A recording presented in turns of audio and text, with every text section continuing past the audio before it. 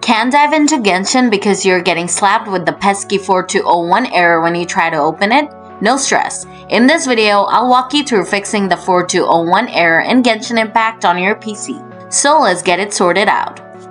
Solution 1. First turn off the Windows firewall. To do this, click on the search icon here and then type in firewall. Then click on firewall and network protection. Next, click on domain network and toggle off Microsoft Defender firewall. Now it will ask you for permission, just click on yes. Now go back to the window before and click on private network. Toggle this off just like before, go back to the previous window again. Then click on public network and toggle this off as well. Now open up Genshin Impact and check if the error is gone. Solution 2. If you're still getting the error, use an optimized DNS server. For this, open command prompt. Now type ping 1.1.1.1 and press enter. Doing this will give you the minimum, maximum, and average ping of this DNS server.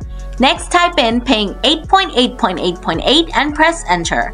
And this will give you the minimum, maximum, and average ping of this DNS server. After you find out which DNS server has the lowest ping, go to settings and click on network and internet. Then on Ethernet. Next, click on the edit button next to the DNS server assignment. Now select manual from here.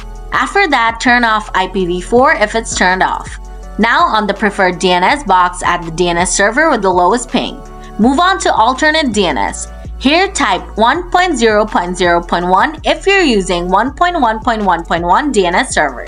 But if you're using 8.8.8.8 as your preferred DNS server, type 8.8.4.4. Lastly, click Save and check if the error is fixed.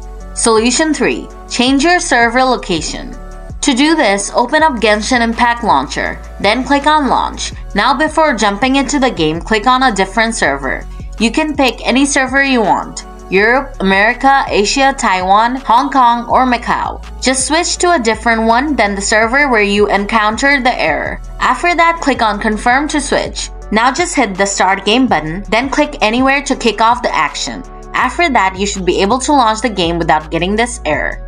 So that's how you fix the 4201 error in Genshin Impact on your computer. If the video helped you out, please hit the like button. And if you're still struggling with the issue, feel free to leave a comment below and I'll do my best to help you out. Thanks for watching.